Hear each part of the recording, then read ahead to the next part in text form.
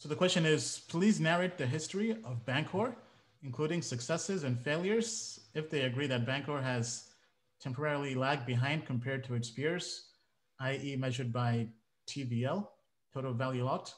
Explain why and how that happened from their perspective. Yeah, so this is a great question, and uh, I'm glad I'm glad it was asked. Bancor made uh, a very key design decision early on in its existence. So, so Bancor started in June 2017, and it's been around quite a while, right? So that key design decision that was made was to put BNT as its protocol token in every one of its pairs. So every one of its pools has the ERC20 token and BNT. And so this was a decision that in the short term introduced some more user friction, but we believe over the long term is really a, a key design decision that will is offering currently more long-term benefits to liquidity providers. And, and let me break that down. So in the early days of Bancor and AMMs, like we've said, you had to provide two tokens in order to be a liquidity provider. And so if I wanted to be a part of the link pool in sort of the initial model of Bancor, I had to provide an equal value of link and an equal value of BNT in order to be a liquidity provider. And so what Uniswap came along and did is it, like I said, ripped out BNT and put ETH in the pool. So I could provide liquidity and I can provide liquidity to Uniswap with half link and half ETH. And you know, more users obviously have ETH in their wallet than they do BNT in their wallet. So to go to someone and say, hey, I know you want to provide liquidity and earn yield on your tokens and be a part of the network, but you have to acquire BNT first and then do it in equal and provide, you know, that's kind of a, a more of a headache for someone who already has ETH in their wallet, most likely, and can just provide half ETH and half link to the pool. So this really, you know, this reduction in sort of user friction um, really gave Uniswap um, massive traction.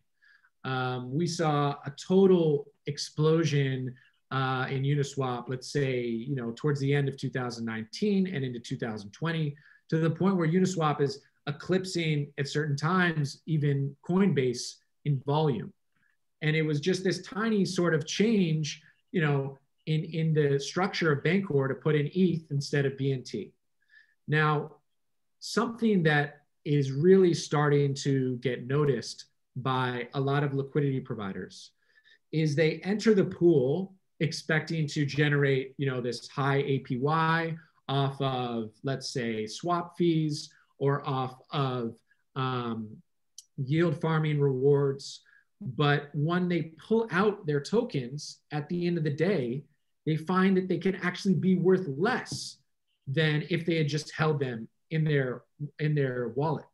And actually, you know, this issue in in I'd say recent weeks and the past month has become even more noticeable with the ETH bull run, right? As ETH has gone up in price, a lot of Uniswap LPs have been getting totally wrecked if you look at say like the YFI pool the link pool you know a lot of pools where you, you think as a liquidity provider you're getting drawn in because of this high apy but once of the when those token moon when one of the token moons arbitrageurs just swoop in um, extract value from the pools and lp you're just less left holding less.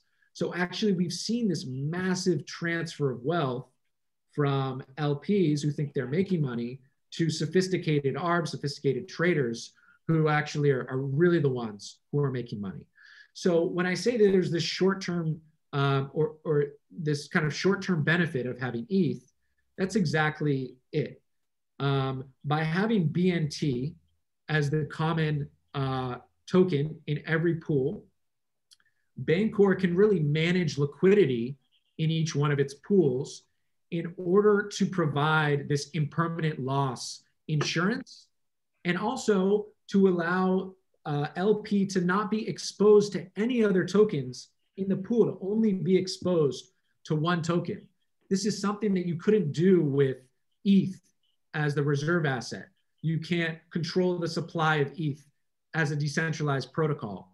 Uh, you can't allow single token exposure um, if you have ETH as your as your token. So this really gets to the heart of the the sort of debate over the value of having a protocol token. And I think BNT is really a textbook use case um, of why you need such a protocol token to really allow the protocol to manage the risk and diversify the risk of impermanent loss such that it's not a single LP that's playing Russian roulette with their tokens, but it's a protocol that's really managing that risk and uh, and and really reaping both the and reaping the rewards too of impermanent loss insurance through the fees it earns, and those fees are burned to reduce the supply of BNT.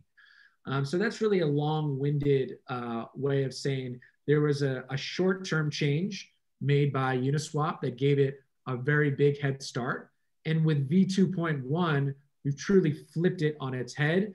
And the value of having a protocol token like BNT in the pools is really starting to shine. And so we're up to around 100 million in liquidity locked. I think Uniswap is now at something like 1.5 billion. But we think that liquidity is going to flow to Bancor pretty fast as more LPs realize that there's a huge risk of losing money on Uniswap, and this risk does no longer exist uh, as an LP on Bancor. All right, that's great. Uh, thank you, Nate.